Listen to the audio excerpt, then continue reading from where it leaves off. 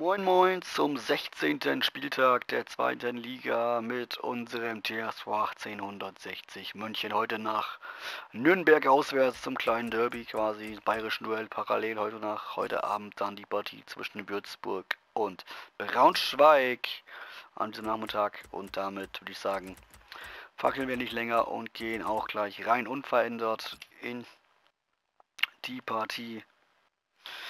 Die Nürnberger drücken ja auch von unten Richtung Platz 3. Für uns sollte das mit in der 11 Punkten Vorsprung auf Platz 3 eigentlich kein äh, großes Problem mehr sein. Und damit heiße ich willkommen, heiße ich euch willkommen, so muss richtig im Max-Morlock-Stadion in Nürnberg. Und wir schauen mal, wie der Club dann hier gleich aufstellt. Da kommen die Mannschaften aufs Feld, da sehen wir es. Wir schauen. Behrens sind wir da schon als Nürnberger Kapitän nach wie vor. Bei nassen und schwierigen Bedingungen hier in Nürnberg. Und dann gucken wir noch kurz Blick auf die Tabelle. So ist es wie Tabellenführer Nürnberg siebter, aber nur ja, gut weg, das lässt sich bis auch immer weil gewinnen, weil Bremen schon gespielt hat. Das könnte Leibold sein. Der Nürnberger Publikum ist auch da hier. Kirschbaum, Riveres, Hofland, Mühl, Jackbar, Petrak, Behrens, Kempe, Leibold, EFC Futsali. Im Sturm ist schon viel, müssen wir aufpassen. Im 4, 2, 3, 1.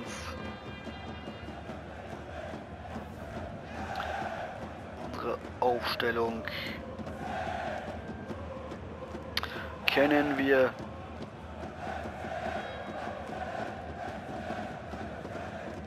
Aber auch da werfen wir nochmal einen ganz kurzen Blick drauf. So ist das mit Lucia Golokai, Kiram Bitschet, Lacazette, Prümel, Lex Hauptmann, Kirk und Rese im Sturm auch im 4-2-3-1. System. Und damit würde ich dann sagen, nachdem nochmal der Motivationskreis gebildet ist, eröffnen wir die Partie hier in Nürnberg über Resort Hauptmann. Auf geht's. Prömel, Mittelstädt, Prömel. Nürnberg steht sehr kompakt hin. Jetzt versuchen sie es mit einmal hinter, die, hinter den Ball da erstmal zu kommen. Rese oh, gegen Hofland kann er sich nicht ganz entscheiden, nochmal abzulegen. Kempe, Mittelstädter zwischen Einwurf Nürnberg. Riveresch, Petrak, Behrens wieder zurück. Kempe auf die Seite. Behrens direkt weitergeleitet. EFC wird dazwischen gegangen. Prömel, Behrens ist dazwischen. Kempe, Petrak, Evsev, Jakba, Leibold, Prömel, Lacazette, oh, Bela, Evsev, Behrens, da außen ist keiner bei Kempe, Mittelstädt über, kommt dazu und hilft und klärt. Kerk, Lacazette, drückt Bein durch, rüber auf die Seite, Jeremy Duziak nimmt den Ball in Empfang. Lacazette, Kerk, Prömel, Duziak, Prömel, Hauptmann, Lacazette geht vorbei, Lacazette 1-0 an Kirschbaum vorbei. In die lange Ecke, die 13. Minute.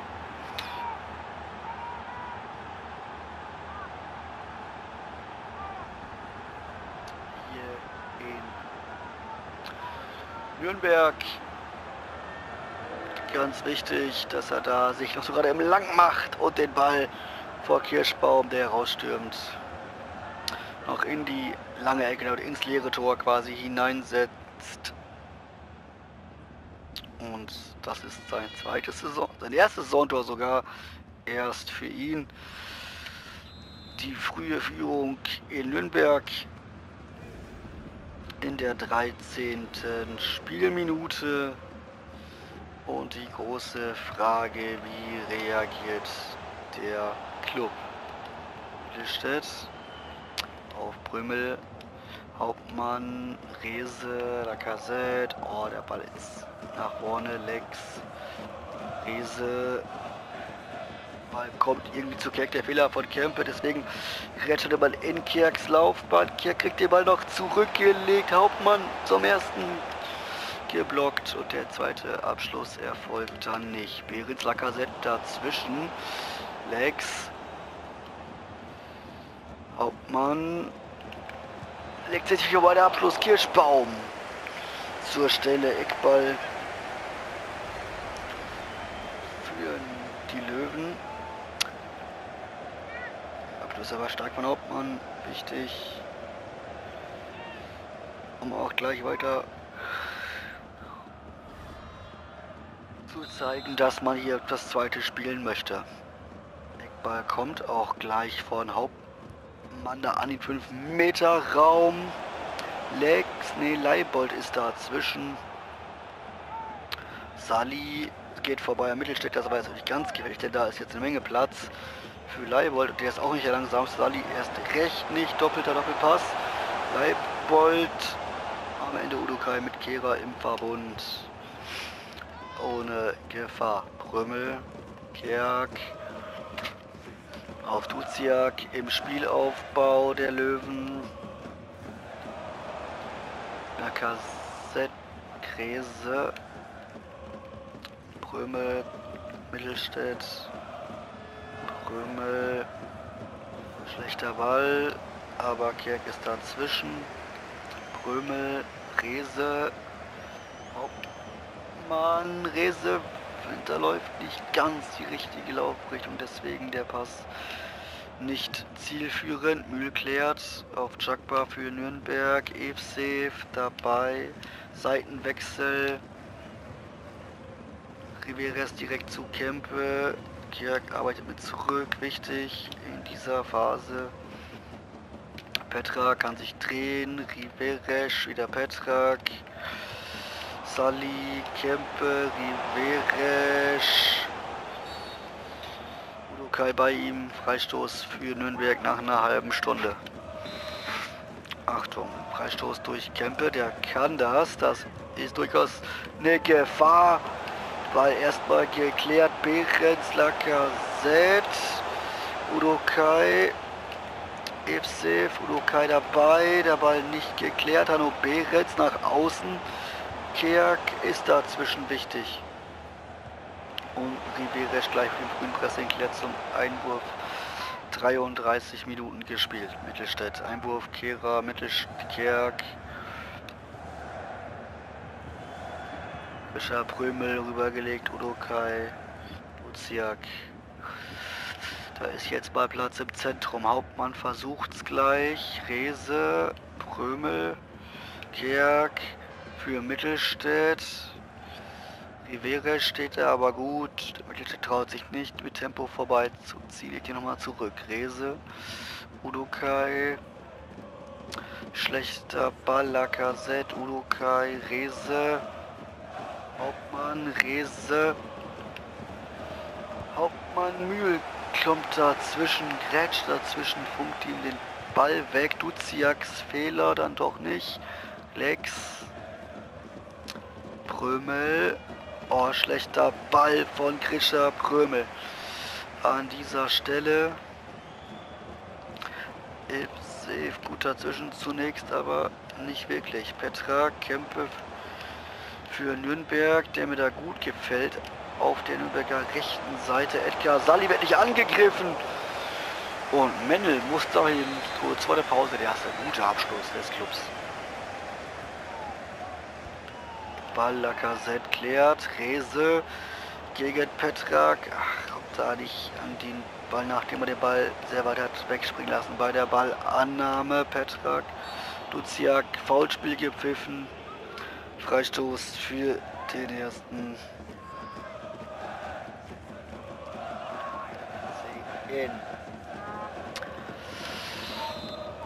Abstoß kommt von Leibold. Flanke Leibold. Krümel dazwischen. Lex auch. Und nochmal Rese. Hauptmann. Vertrag legt ihn. Pfiff. Die Löwen aber keine gelbe Karte in der Nachspielzeit. Im ersten Durchgang. Udokai, Lacazette, Doziak, die Linie entlang. Lex. Ja, Flanke Versuch, kommt nicht an, kann da klären. Dann ist hier aber Pause. 0 zu 1 aus Dürnberger Sicht.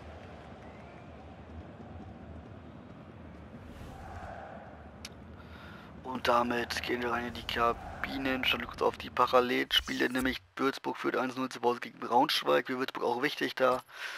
Unten, wir gehen rein in den zweiten Durchgang in Nürnberg.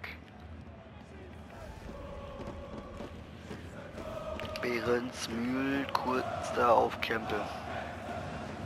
Auf Petrak, der auf Sali, der wieder auf Riberesch der den Ball gegen Ulukai verliert. Einwurf Ulukai kommt überhaupt nicht mehr zurück. Kerk ist da zwischen und irgendwie kommt Kempe doch zur Flanke. Kehra klärt da. Kerk. Prömel. Lacazette. Rese. Hauptmann. Wieder Kerk. Er steigt nochmal drauf. Und Prömel will Rese anspielen, findet aber den man nicht. Kerk, Römel, Lacazette, Lex, Ziak, oh, Vertrag dazwischen, das ist dann zu zentral, weil zu viel, zu eng. Rese, Mittelstädt mit Prömel im Zentrum. Und dann muss auch Lex da mal entgegenkommen. Tut das nicht. Sally Kira, keiner bei Leibold, doch, Duziak. Lex hilft, aber immer zurück, wichtig. Udokai. Spielaufbau, Mittelstädt. Kerk. Seitenwechsel kommt so gar nicht an, nämlich auf die Brust von Leibold. Der macht's gleich schnell. Sally. Das ist safe, da ist Udokai dazwischen, der stellt den Fuß rein. Freistoß für die Klubberer, Hanno Behrens. Lacazette auf der Linie, das ist gar nicht, das ist Hufnagel, das ist Sally Mendel. Zentraler Ball, Kerk. Nicht gut, Salis Nachschuss neben den Kasten. Und von Udo Kai auch nicht geblockt. Abstoß. Mendel mit dem langen Ball. Der Ball landet bei Hauptmann. Lex. Lacazette. Duziak. Gegen Jakba. Einwurf. Die Löwen. Duziak. Lacazette. Krümel. Kehra. Kerk. Rese. Hauptmann versucht durchzustecken, aber kommt nicht ganz an. Riberesch, Hauptmann, presst drauf, Einwurf Nürnberg, 63 Minuten gespielt. Wichtig, da zu sein, trotzdem zu zeigen jetzt, dass man hier früh auch Nürnberg unter Druck setzen will, genau, und solche Einwürfe dann zu erzwingen, um zurückzukommen in den Ballbesitz. Prömel Lacazette, Rese, Lacazette, Behrens geht da nicht drauf ein auf den auf die Idee, Lex zurückgelegt, der Abschluss Duziak abgeblockt. Kopfball Sali klärt in Zeiten aus, 68. Minute. Wir gehen mal rein in den Wechsel. Schwarzhofer für Lacazette. Rese heute raus, dafür Platte nochmal von Anfang an, beziehungsweise Rese dann nochmal für Kerk, der die Partie dann eigentlich verlässt.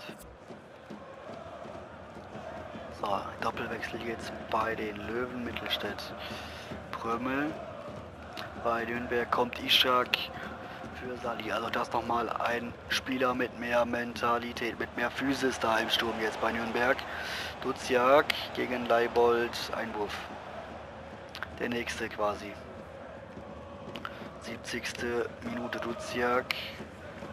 Tafazofer, Rese, Obmann, Grescher Prömel, Riberesch blockt, auch das wäre da nochmal eine Idee, ein Sechser, vielleicht der Abschluss stark ist. Eine Idee, gut dazwischen, Udokai, alles gut. Tapazofer. Duziak. Gegen ESC, Duziak nochmal. Duziak.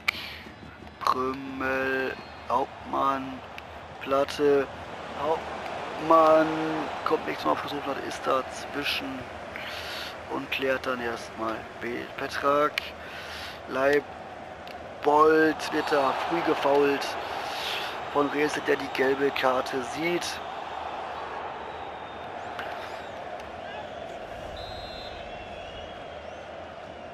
Aber den Angriff unterbindet. Chuckbass langer Ball, Kopfball, EFC Pfiff, nächster Pfiff für die Nürnberger. An dieser Stelle Behrens, Freistoß. Behrens, Kehrer klärt. Nochmal Behrens, Platte, Rese. In Hufnagel gibt den Pfiff. 79. Minute. Wie wechseln wir jetzt nochmal? Dammerer für Hauptmann und äh, für Rese Hauptmann geht dafür auf die rechte Seite. Letzter Wechsel Leibert, glaube ich, geht da raus bei den Löwen, bei Nürnberg, ich richtig gesehen habe. Udokai, Kurz, Gera, Mittelstädt. Chipball in den Lauf für Lex.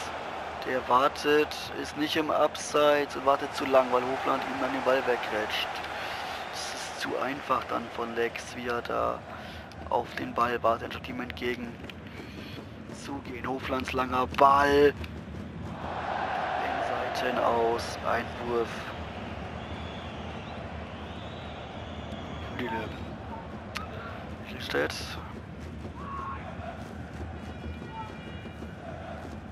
Römel, Tafazowa, Damara, Hauptmann, Platte, Lex, schöner Chipballversuch, aber er kommt nicht an. Jacques war wieder nur lang und hoch in Richtung.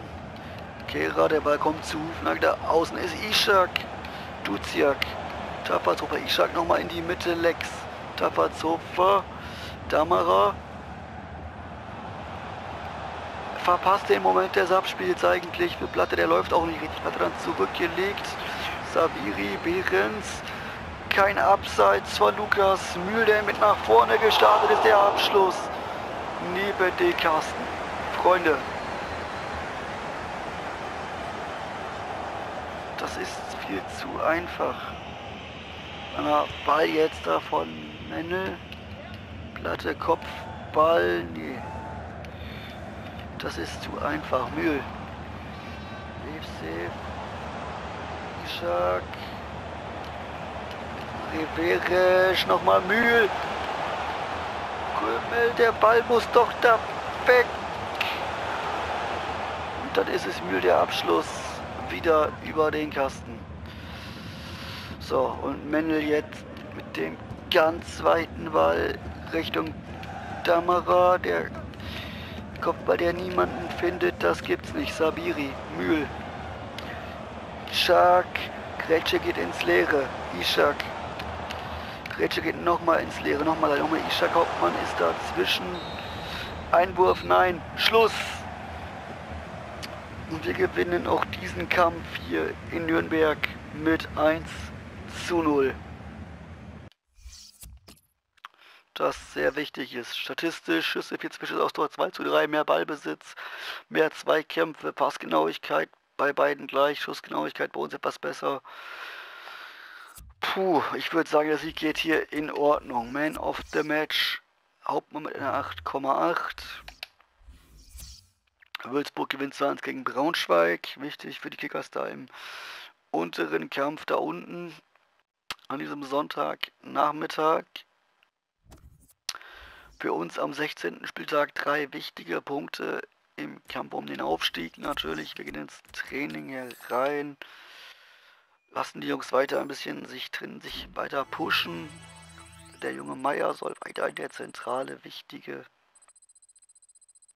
wichtige Sachen trainieren sollte ich da nämlich als spielender, als spielmachender Sechser habe ich ihn ein bisschen eingeplant. Mal gucken, ob er das wirklich erfüllen kann. Bremen auf drei, mittlerweile drei Punkte vor Hannover, vier schon vor Union. So langsam setzt sich alles ab. Wir haben zehn Punkte auf Platz, drei Vorsprung. Das ist wichtig. Das kann so bleiben. Wir gehen noch ein paar Tage voran. Und dann sehen wir uns im nächsten Part zum letzten Spiel der Runde, zum 17. Spieltag gegen den ersten FC Heidenheim. Bis dahin sage ich danke fürs Zuschauen, bleibt gesund, haut rein und ciao.